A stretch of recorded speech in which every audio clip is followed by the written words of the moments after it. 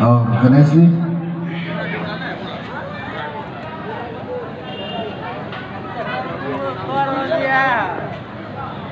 गणेश भाई अब जरा सा लगा लीजिए उसके बाद फिर